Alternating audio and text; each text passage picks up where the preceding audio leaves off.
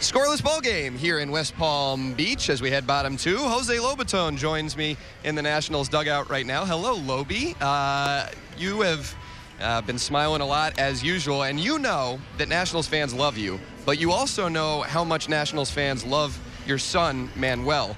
So who do you think they love more? That's my question. Uh, maybe me, but you know, if it's an Instagram, maybe more my son, because all the video, all the crazy stuff that he does.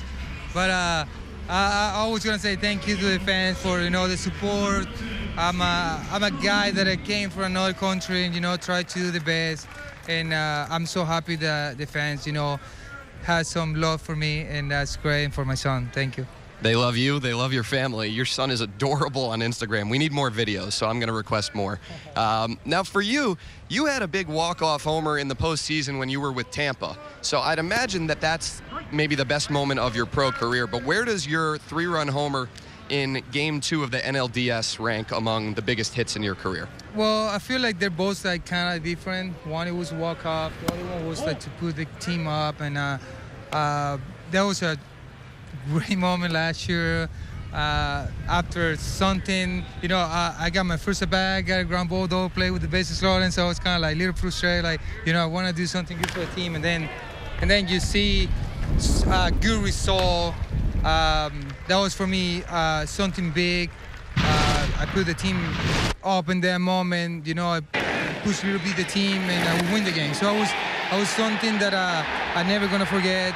Um, I did something good for the team. That's what I want to do all the time that I play. If it's not defense, it's uh, hitting. If it's hitting, you know, try to do both sometimes.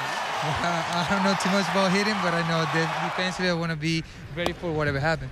Now, defensively, you get a lot of credit for your pitch framing, your ability to turn balls into strikes. How did you learn that art? How did that become something that you're so good at? Well, uh, I got a couple, uh, couple players that I play with me. Um, uh, one of the guy was uh, Molina, Jose Molina. We played together in Tampa, and uh, I saw that he was like great catcher, great defensive guy, guy that I can frame everything. So it was.